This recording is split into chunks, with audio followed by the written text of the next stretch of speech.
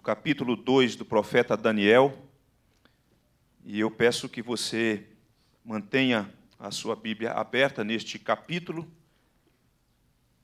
Daniel, capítulo 2, dando continuidade à mensagem que nós iniciamos no outro dia neste capítulo, de sorte que o tema é o mesmo: o reino eterno de Deus suplantará os reinos humanos. O reino eterno de Deus suplantará os reinos humanos. Como o capítulo é uma mensagem única, o tema é o mesmo. E nós fizemos uma abordagem do versículo 1 até o versículo de número 23. Hoje nós vamos nos concentrar na segunda parte deste capítulo, versículo 24 ao versículo de número 49. Leio com você introdutoriamente o versículo 36 e o finalzinho do versículo de número 45, e depois você mantém a sua Bíblia aberta, porque nós vamos nos ater aos versículos 24 até o versículo de número 49. Está escrito assim no versículo 36 do capítulo 2: Este é o sonho, e também a sua interpretação, diremos ao rei. Versículo 45, finalzinho do versículo diz assim: Certo é o sonho e fiel a sua interpretação. Tudo começou com um sono de um rei que teve um sonho e um sonho que gerou uma insônia, uma inquietação no coração do rei. Um homem que foi dormir pensando como seria o futuro. E por conta dessas inquietações que assaltavam o seu coração, ele dorme e ao dormir tem um sonho. E ao acordar, ele não se lembra, essa é a minha o meu entendimento desse texto. E ele procura os seus magos, os seus sábios, e os magos revelam a sua limitação. Eles entendem que eles não têm competência para trazer para o rei aquela imagem que ele teve, que ele não se recorda. Eles até tentam a dissuadir ou persuadir o rei para que conte o sonho, para que eles possam interpretar o sonho. Mas o rei, com isso, fica furioso. Ele oferece honrarias, presentes para estimular os sábios, mas os sábios percebem que eles não têm condição de fazê-lo. E com isso, ele cria um decreto, um decreto de morte, e dá ordem ao seu comandante para que execute todos os seus sábios até então, Daniel e os seus amigos não estavam na cena daquele primeiro momento, e eles são trazidos também, e dentro deste contexto em que se instala a tensão, em que se instala um, uma situação dramática, os jovens ali, diante ah, daquele comandante, Daniel pergunta o que está acontecendo, porque ele não tem conhecimento do porquê daquele decreto. Arioque, portanto, o comandante, conta o que está acontecendo. E Daniel, então, tem uma iniciativa, pede uma audiência com o rei, e ele diz ao rei que ele ah, interpretará e que ele trará para o rei o sonho. Ele está confiante. Ele já experimentou num outro momento essa manifestação da bondade de Deus dentro disso que nós chamamos de tempo, de pouco tempo. E com isso, ele então convida os seus amigos, os seus irmãos, para que orem com ele, para que se juntem a ele em oração. Como é importante, irmãos, nos dias difíceis, nos dias maus, ter gente para orar conosco. Os seus irmãos oram juntamente com Daniel e Daniel vai dormir sossegadamente. O rei está inquieto e Daniel está com o coração sossegado, em paz, descansado em Deus. E Deus ouviu a oração de Daniel e dos seus irmãos e respondeu a Daniel, dando, portanto, a Daniel a capacidade de ver o sonho como que num filme que vai sendo passado diante dos olhos de Daniel e juntamente com o sonho a interpretação. Com isso Daniel agradece a Deus, louva o Senhor porque reconhece que Deus é o Senhor da história, que Deus é o Senhor que pode descortinar os mistérios escondidos para que venham e sejam conhecidos das pessoas. E diante disso, depois desse momento de adoração, de louvor, Daniel então está pronto a comparecer, a pedir uma segunda audiência com o rei, para finalmente contar ao rei o sonho e, consequentemente, a sua interpretação. Então eu chamo a você para que nos voltemos para o versículo de número 24, nesta noite ou neste início de noite, finalzinho de tarde, nós vamos destacar aqui quatro verdades nessa, nessa narrativa final deste capítulo. E a primeira verdade que nós vamos destacar, que se encontra nos versículos 24 a 30, é o crédito transferido. O crédito transferido, o sonho revelado, o sonho interpretado e o resultado da mensagem do sonho interpretado. São essas quatro verdades que nós vamos trabalhar e percebendo, portanto, a conexão cristocêntrica da mensagem do sonho e sua interpretação. Versículo 24. Diz assim: Por isso Daniel foi ter com Arioque, ao qual o rei tinha constituído para exterminar os sábios da Babilônia. Entrou e lhe disse: Não mate os sábios da Babilônia introduza-me na presença do rei e revelarei ao rei a interpretação. Então Arioque, depressa, introduziu Daniel na presença do rei e lhe disse: Achei um dentre os filhos dos judeus ou dos cativos de Judá, o qual revelará ao rei a interpretação. Respondeu o rei e disse a Daniel, cujo nome era Belsassar: Podes tu fazer-me saber o que vi no sonho e a sua interpretação? Respondeu Daniel na presença do rei e disse: O mistério que o rei exige, nem encantadores, nem magos, nem astrólogos o podem revelar ao rei. Mas há um, Deus no céu, o qual revela os mistérios, pois fez saber ao rei Nabucodonosor o que há de ser nos últimos dias. O teu sonho e as visões da tua cabeça quando estavas no teu leito são estas: Estando tu, ó rei, no teu leito, surgiram-te pensamentos a respeito do que há de ser depois disto.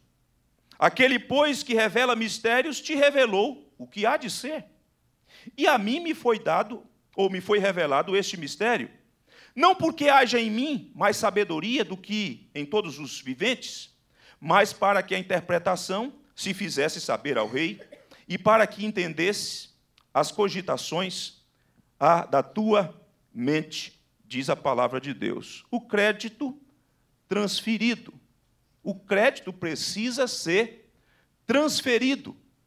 Meus irmãos, a tendência humana é buscar o reconhecimento. Faz parte das nossas aspirações dentro de determinados contextos e dentro de algumas das nossas realizações, sermos reconhecidos. E ao sermos, ao sermos reconhecidos, recebemos destaque em relação às outras pessoas. Eu duvido muito se você nunca fez isso. Talvez nunca verbalizou, mas certamente você, de alguma forma, com as suas atitudes, com as suas ações, já buscou receber o tapa nas costas, o reconhecimento, o abraço, o aplauso, que fizesse com que você fosse destacado em relação aos outros e talvez por conta disso batesse no peito dizendo: Eu sou o cara. Eu sou o cara. Vocês viram o que eu fiz? Vocês perceberam a minha competência em relação aos outros? Vocês viram o quão habilitado eu sou? E as capacidades que eu tenho supera ou superam em muito a dos outros. Você vai perceber que quando Daniel tem esse contato novamente com esse comandante, com esta autoridade, Arioque, ele diz que é para introduzi-lo à presença do rei, que é para suspender o decreto para não matar os sábios, você vai perceber que Arioque ele tem uma iniciativa imediata, nós podemos constatar isso no versículo 25 que nós lemos. Então Arioque depressa introduziu Daniel na presença do rei e disse: Veja só o que ele diz: Achei um dentre os filhos dos cativos de Judá, o qual revelará ao rei a interpretação.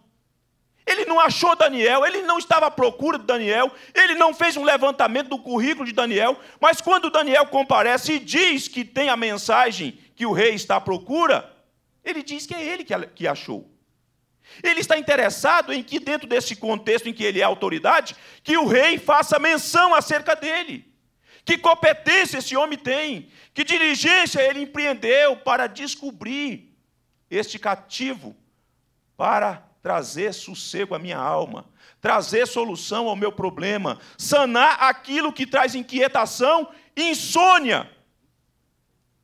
Todavia, meus irmãos, nós vemos que a atitude de Daniel é completamente distinta. Este homem não toma o crédito que não lhe pertence.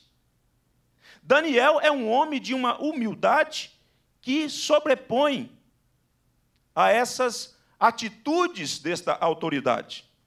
Você vai perceber que neste contato em que o rei faz perguntas a ele no versículo 26, podes tu fazer-me saber o que vi no sonho e a sua interpretação? Daniel bem que poderia ter dito de modo ah, rápido, sim, claro que posso. É por isso que eu vim aqui. Mas Daniel não usurpa aquilo que não lhe pertence, ele não se apropria daquilo que não lhe é de direito. Daniel transfere o crédito para outra pessoa.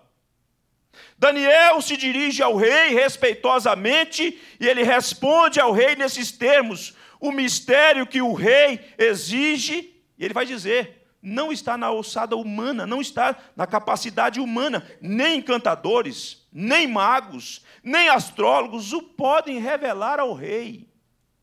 Ninguém. Ninguém.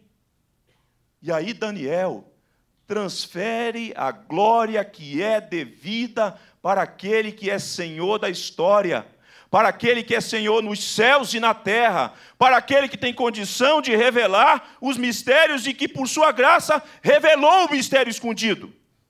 Mas há um Deus no céu, diz Daniel, o qual revela os mistérios. Pois fez saber ao rei Nabucodonosor o que há de ser nos últimos dias, o teu sonho e as visões da tua cabeça, quando estavas no teu leito, são estas: transferência de crédito, meus irmãos. Sabe o que, que Daniel compreendeu? Daniel compreendeu algo que nós precisamos compreender. O instrumento não é melhor do que aquele que instrumentaliza o instrumento. O instrumento, Daniel compreendeu que ele era apenas um instrumento. Você pode ter o melhor violão. Que marca esse violão, Ned?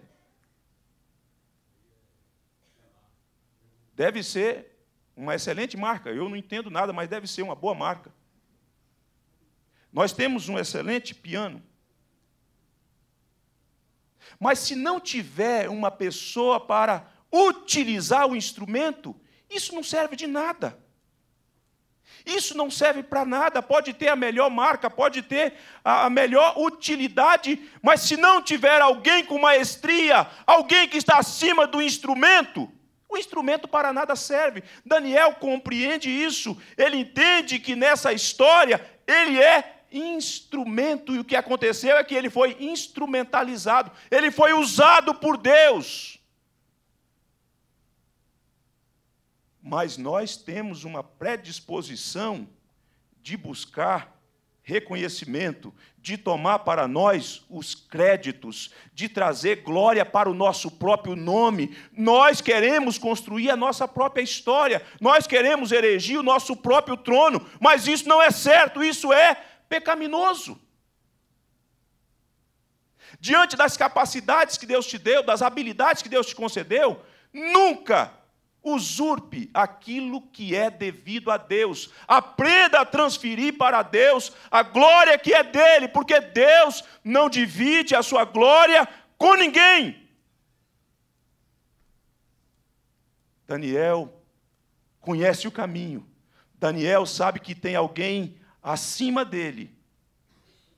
E que essa pessoa que está acima dele, na história, resolve usar pessoas, pessoas frágeis, vasos de barro, para que a glória do seu nome seja conhecida e seja reverenciada.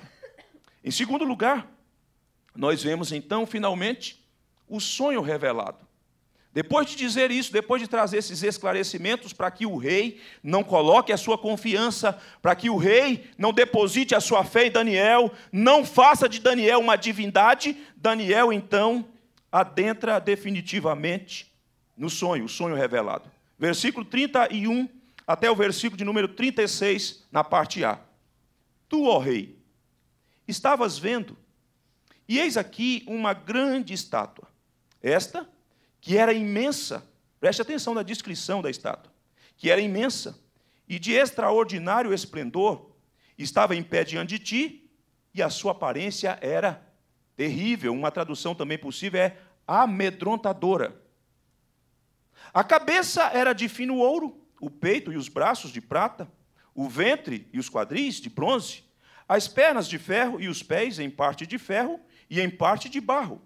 Quando estava, estavas olhando, uma, uma pedra foi cortada sem o auxílio de mãos, feriu a estátua nos pés de ferro e de barro e os esmiuçou. Então foi juntamente esmiuçado o ferro, o barro, o bronze, a prata e o ouro, os quais se fizeram como a palhas das eiras no estio. E o vento os levou, e deles não se viram mais vestígios. Mas a pedra que feriu a estátua se tornou em grande montanha que encheu toda a terra. Este é o sonho, diz Daniel. Irmãos, eu fico ah, na minha capacidade imaginativa, fértil que é, eu fico imaginando o rei à medida que Daniel vai contando os detalhes do sonho. Você já se esqueceu de alguma coisa e de repente alguém começa a contar um trechinho da história e tudo aquilo que você já não recordava mais, aquilo vem sendo trazido novamente à tona? Os detalhes de coisas que você já não se recordava. Imagine você, Daniel, diante deste homem, o homem mais poderoso do mundo de então. Um homem que estava padecendo de insônia, e agora Daniel está diante dele. Será que Daniel tem mesmo a resposta? E Daniel começa a trazer os detalhes. Olha, rei, o que aconteceu foi isso. E eu imagino que ele ia acenando e falando, como que confirmando, é isso mesmo. É isso mesmo, é desse jeito. É dessa maneira. Dentro desse contexto em que as escrituras, o registro deste momento específico, singular na história do povo de Deus, de uma verdade que tanto vai ser contada para acalmar o coração do rei, mas de uma verdade também que terá um alcance para consolar o coração dos cativos. Porque este sonho, juntamente com a sua interpretação, não é uma verdade isolada dos acontecimentos históricos, daquilo que o povo de Deus estava experimentando, não. É algo que foi dado ao rei e que, por sua vez, vem como instrumento ou canal utilizado como profeta Daniel e que terá o seu alcance para que o povo de Deus saiba que existe alguém que está conduzindo essas coisas, que existe alguém que está dirigindo todas as coisas. E à medida que ele conta o sonho, irmãos, diz aí o texto que a, a estátua era grande, era imensa, de extraordinário esplendor e ao mesmo tempo tinha uma aparência terrível. E o que é amedrontador, dentro daquilo que o rei viu e que agora é recontado por Daniel, é que ela, com toda essa pompa, com a parte que é ouro, prata, bronze, ferro e barro, é que de repente ele vê que uma pedra é cortada. e é arremessada contra a estátua. Eu tenho um irmão que ele trabalhou em pedreira e a função dele era chamado lá, isso ele que me contou, ele era o marteleteiro. Eu não sei quantos aqui sabem o que é isso, eu não sabia até recentemente. O marteleteiro é aquele sujeito que sobe nas pedreiras e ele vai como que fazendo furos, sujeito a perder inclusive a vida E é um serviço dificílimo, cujo objetivo é colocar depois naquele furo, naquele buraco, a, a, as dinamites. E ele vai fazendo, orientado, obviamente, pela pessoa responsável, o engenheiro, para que depois da explosão aquele bloco seja cortado e aqueles pedaços saem para depois extrair aquele bloco. Meu irmão dizia que isso leva tempo, às vezes dias, o acesso é difícil, e aqui não. Daniel diz que uma pedra é cortada sem o auxílio de mãos humana, de algo que está fora da esfera e da competência e do poder dos homens e daqueles que se julgam importantes. Eu penso, talvez existam outras, mas de estátuas que nós conhecemos, que tem a sua imponência, talvez a estátua da liberdade, talvez no nosso, no nosso país, com certeza, o Cristo Redentor no Rio de Janeiro, mas eu imagino que essas estátuas que nós conhecemos, imagino com certeza, não chegava nem perto daquilo que o rei contemplou em seu sonho e que agora Daniel reconta com detalhes o acontecimento. E daí nós chegamos à terceira verdade que a, a interpretação do sonho, o sonho interpretado, finalzinho do versículo 36 até o versículo de número 45. Acompanhe-me na leitura do texto. Diz assim: e também a sua interpretação diremos ao rei. Daniel é muito organizado com a forma didática de ensinar, de trazer as verdades. Ele conta o sonho e fala: bom, essa é a primeira parte. Com fidelidade. E agora a segunda parte, a interpretação. Tu, ó rei, rei de reis, a quem o Deus do céu conferiu o reino, o poder, a força e a glória a cujas mãos foram entregues os filhos dos homens, onde quer que eles habitem, e os animais do campo, as aves dos céus, para que dominasses sobre todos eles, tu és a cabeça de ouro. Depois de ti se levantará outro reino inferior ao teu, e um terceiro reino de bronze, o qual terá domínio sobre toda a terra. O quarto reino será forte como o ferro, pois o ferro a tudo quebra e esmiuça como o ferro quebra todas as coisas, assim ele fará em pedaços e esmiuçará. Quanto ao que viste dos pés e dos artelhos, em parte de barro e de olheiro, e em parte de ferro, será um reino dividido. Contudo, haverá nele alguma coisa da firmeza do ferro, pois que viste o ferro misturado com barro de lodo. Como os artelhos dos pés eram em parte de ferro e em parte de barro, assim, por uma parte o reino será forte, e por outra será frágil. Quanto ao que viste do ferro misturado com barro de lodo, misturar-se-ão mediante casamento, mas não se ligarão um ao outro, assim como o ferro não se mistura com o barro. Preste atenção nisso aqui, irmãos. Mas, nos dias desses reis, o Deus do céu suscitará um reino que não será jamais destruído. Este reino não passará a outro povo, esmiuçará e consumirá todos estes reinos, mas ele mesmo subsistirá para sempre.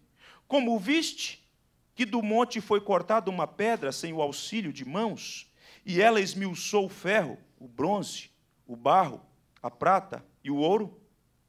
O grande Deus fez saber ao rei o que há de ser futuramente.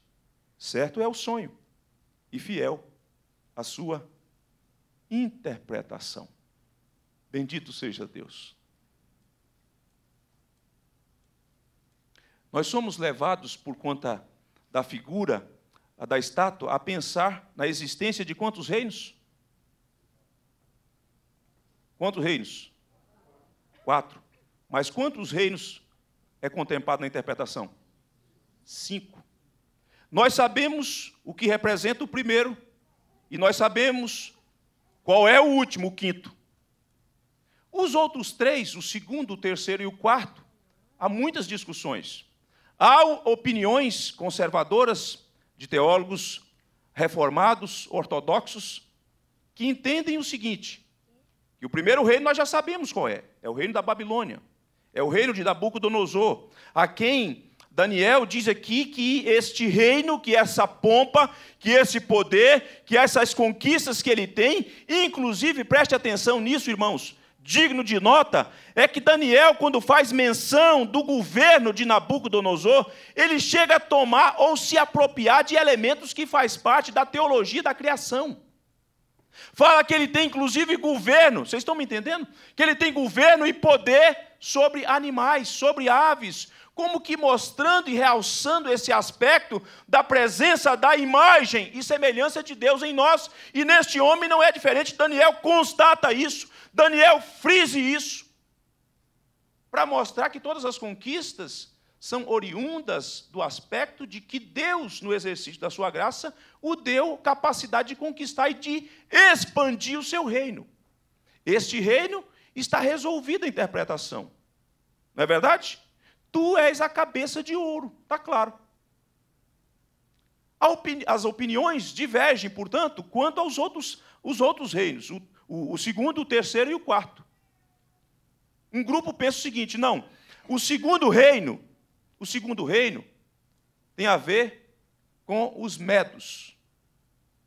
O terceiro, os persas. O quarto, com Alexandre. Um outro grupo vai dizer não.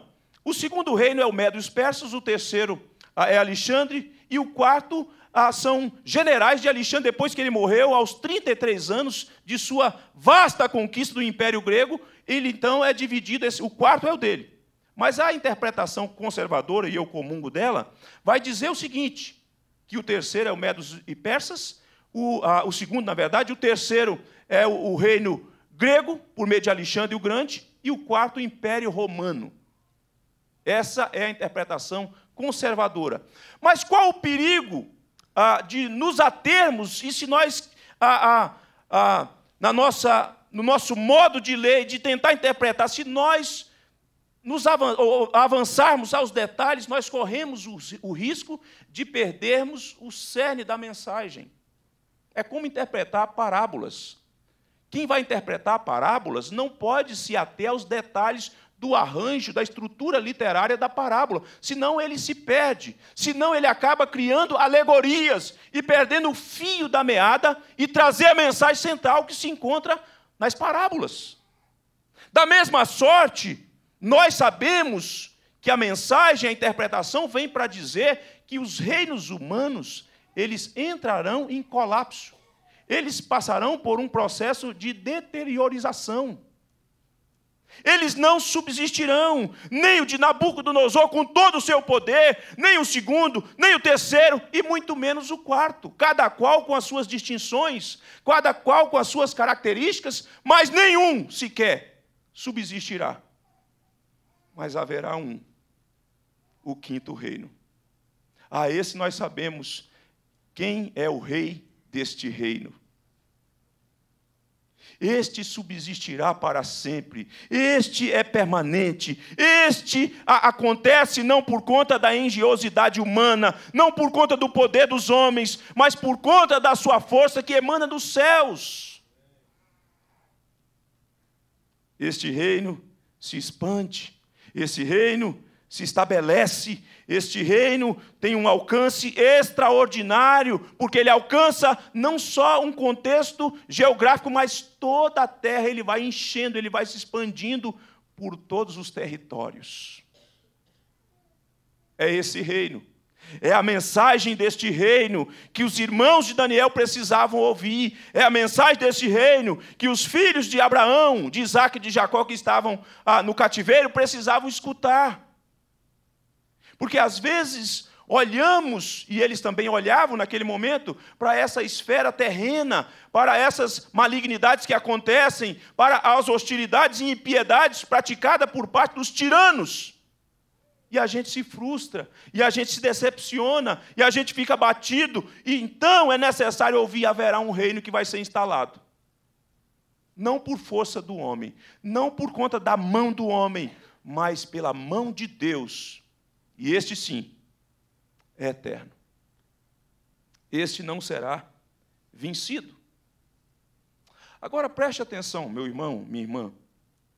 A compreensão da chegada do quinto reino, ela deve nos alertar para duas coisas, preste atenção nisso. A primeira coisa é no que tange ao sofrimento. A compreensão da chegada do quinto reino deve te levar e deve te lembrar sobre a compreensão do sofrimento. O sofrimento vai acabar. O sofrimento vai passar. O sofrimento não vai durar eternamente. É preciso compreender isso.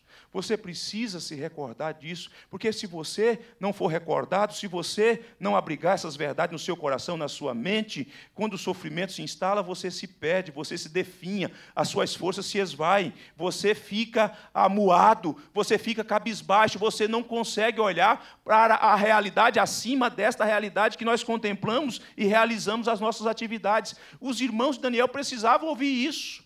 Eles sofriam, irmãos.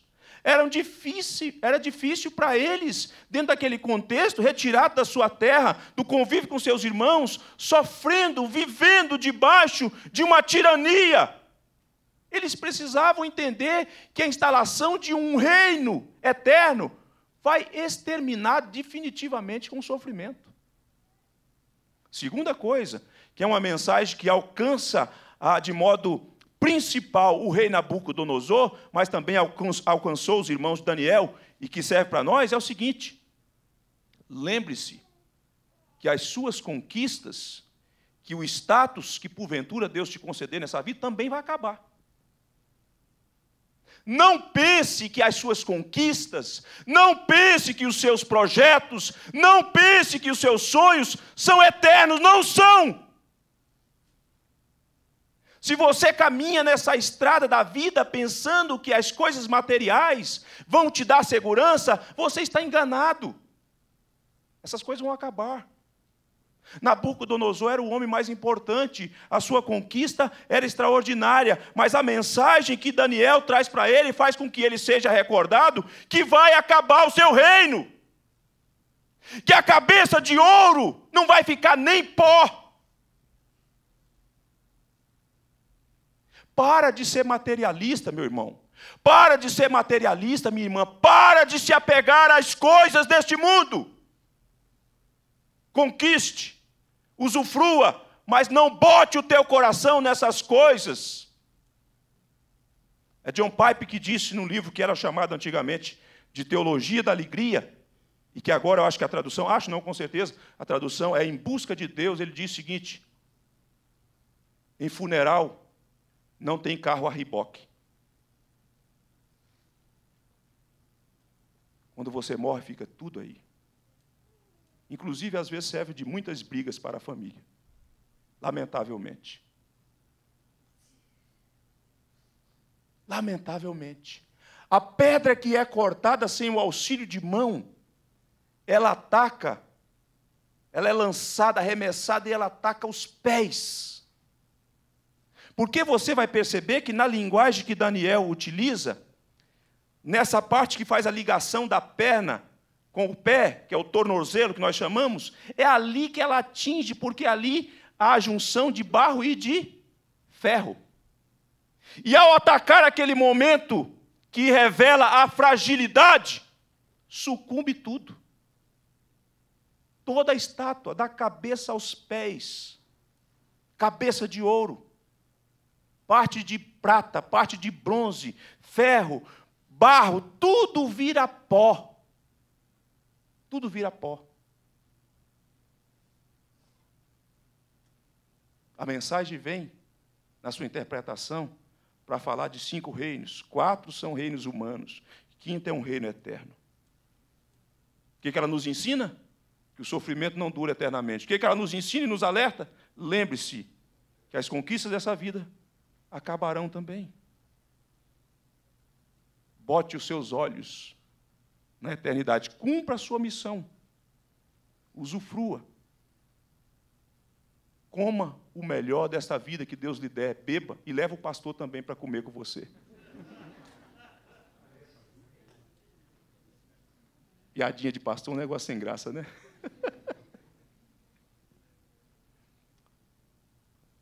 Resultado da mensagem? Resultado da mensagem. Versículo 46 a 49. Lembre-se do, do finalzinho do versículo 45. Certo é o sonho e fiel a sua interpretação. É como se Daniel estivesse dizendo: olha, o sonho é fiel e a interpretação igualmente. E aí, qual o resultado da mensagem?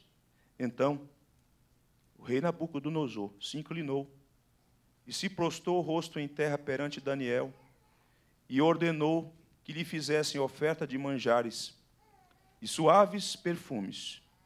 Disse o rei a Daniel: Preste atenção nisso aqui, irmãos. Veja o contraste disso aqui do que Daniel disse quem é o rei lá no versículo de número 37. Disse o rei a Daniel: Certamente, certamente, o vosso Deus é o Deus dos deuses. E o Senhor, Senhor de quem? o Senhor dos reis. Olha o que é que esse homem, a que conclusão ele está chegando. E o revelador de mistérios, pois pudeste revelar este mistério. Então o rei engrandeceu a Daniel e lhe deu muitos e grandes presentes, e o pôs por governador de toda a província da Babilônia, como também o fez chefe supremo de todos os sábios da Babilônia. A pedido de Daniel, constituiu o rei Sadraque, Mesaque, Abednego sobre os negócios da província da Babilônia. Daniel, porém, permaneceu na corte do rei. O homem mais importante da terra está impactado durante um tempo em silêncio. Diante da mensagem que ele escuta, que diz respeito às suas preocupações quanto ao futuro, ele vai perceber o seguinte: olha, eu não tenho controle nenhum sobre a história.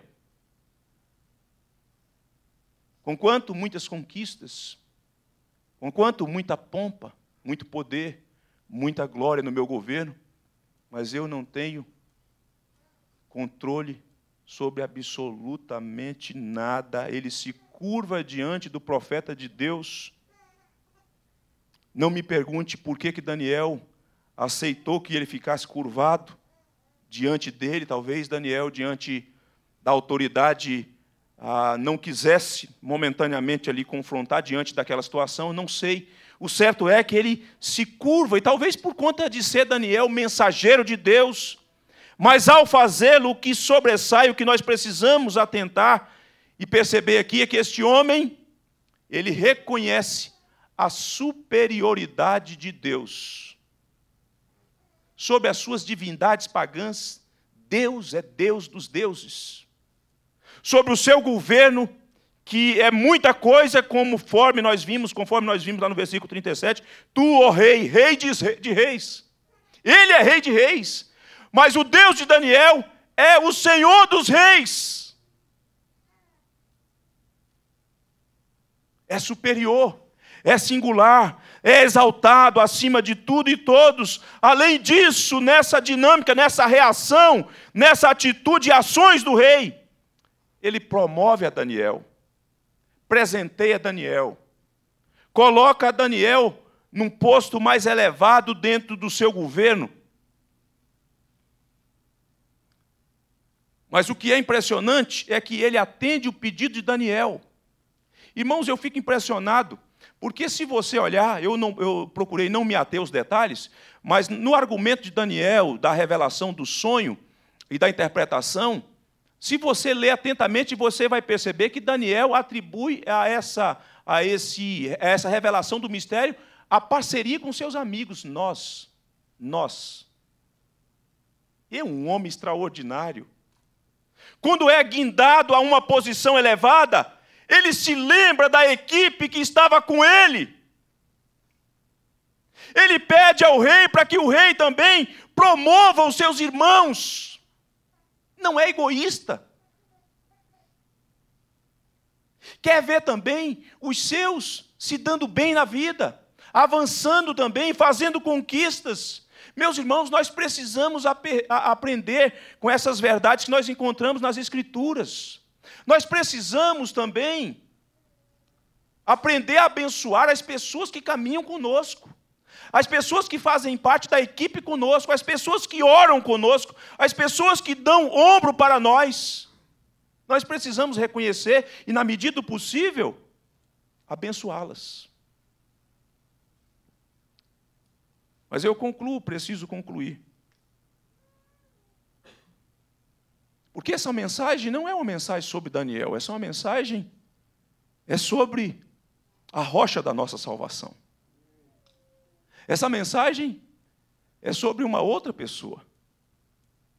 Nessa figura de uma pedra que é cortada, de uma pedra que é arremessada para derrubar a estátua, de um reino que cresce, que se expande, isso tem a ver com uma outra pessoa. Uma pessoa que era guardada pelos irmãos de Daniel, pelos cativos que estavam na Babilônia. E nesse sentido, meus irmãos, eu passo a destacar e rememorar alguma coisa que nós já vimos, que o método que Deus utilizou para a, trazer à tona o mistério oculto foi o sonho. Entretanto, na plenitude dos tempos, o Filho de Deus nasceu de mulher, nasceu sob a lei, e o método que Deus revelou ou utilizou para revelar a chegada do seu reino, agora não é um sonho, ou sono, ou sonho, melhor dizendo, mas é o seu Filho eterno, que se encarnou, que dá agora, portanto, a instalação do reino de Deus. Porque ao revelar a chegada do reino de Deus, Jesus revela o Pai e revela a si mesmo como sendo o Emanuel, o Deus conosco. E agora, o evangelho da paz nos é trazido por conta da revelação de Jesus, de sorte que o Senhor Jesus disse: Quem vê a mim, vê o Pai. Quem conhece a mim, conhecem o Pai. é um método mais excelente, porque é no Filho de Deus que as coisas agora são descortinadas. A instalação do reino de Deus teve início, portanto, por ocasião da encarnação do Verbo. E o Verbo se fez carne e habitou entre nós, cheio de verdade e de graça. Foi por ocasião daqueles pastores que estavam nas campinas do Jordão, ou nas campinas de Belém, melhor dizendo, em que eles ouviram a música de um coro celestial, glórias a Deus nas maiores alturas e paz na terra aos homens a quem Deus quer bem. Ali o reino de Deus estava chegando. Louvado seja Deus. Mas o reino de Deus ele também ele demonstra o seu aspecto expansionista de modo analógico. Há uma parábola que o Senhor Jesus conta que o reino de Deus é como uma semente que brota e vira uma árvore. E essa árvore dá abrigo a pássaros, e ela tem galhos, e ela vai se estendendo. O reino de Deus chegou e ele está sendo expandido. E ele acontece, a sua dinâmica de expansão acontece por meio da missão da igreja, da pregação do evangelho. Ele vai enchendo, ele está enchendo toda a terra, meus irmãos. E nada nem ninguém pode deter a expansão do reino de Deus. Bendito seja o Senhor. O reino de Deus também tem o seu aspecto da trilogia ou da tipologia. Porque diz a Bíblia que quem cair sobre aquela pedra vai tornar-se em pedaço. E aquela pedra sobre quem ela cair vai virar pó. Numa parábola, isso era uma tipologia do final da mensagem de Daniel. Jesus Cristo é a pedra. Jesus Cristo é a demonstração da chegada do reino de Deus. Jesus Cristo é o contraste entre a fraqueza humana e a onipotência de Deus. Mas eu preciso terminar dizendo o seguinte: o reino de Deus já chegou. Entretanto, o rei que comanda este reino, ele teve que morrer. Ele teve que morrer para comprar um povo escravizado. Mas a diferença deste rei, que tem a primazia deste reino eterno, ele é poderoso, sabe por quê, irmãos? Sabe por quê que ele é distinto de todos os reinos? Sabe por quê ele é distinto de Nabucodonosor? Sabe por quê ele é distinto de Dario, de Alexandre o Grande? Sabe por quê ele é distinto dos Césares? Porque ele venceu o mundo, ele venceu o diabo, e ele venceu aquilo que causa mais pavor no homem, ele venceu a morte. Ele é poderoso porque ele venceu a morte e, portanto, pode salvar a todos aqueles que se achegam a ele e que creem no seu glorioso nome. Os outros reis, conquanto tinha a sua pompa dos seus reinos, eles morreram. Eles não puderam dar continuidade aos seus reinos, porque a morte os venceu. Mas o nosso rei, ele venceu a morte e, portanto, dá segurança e assegura que o seu reino, portanto, é instalado definitivamente, porque a morte não pôde detê-lo. Ele está vivo. Ele está sentado à direita do Pai, de onde virá para nos buscar. O reino de Deus, o reino eterno de Deus, suplantará e tem suplantado os reinos humanos. Convido Paulo para que cante mais uma música, mais uma música, para então orarmos ao Senhor nosso Deus.